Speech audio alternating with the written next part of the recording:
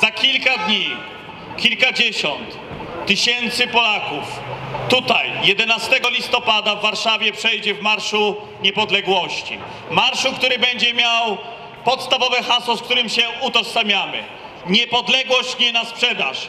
Wszystkich Polaków zapraszamy. Dziękujemy za wsparcie.